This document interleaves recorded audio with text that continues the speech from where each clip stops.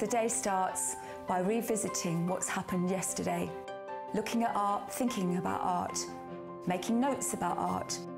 Did it go well? What is working for me? Do I need to adjust? Do I need to lighten and brighten? Am I happy with the colour combinations? Do I feel the surfaces are working for me? And this is what I do now. Certainly wasn't like this a number of years ago.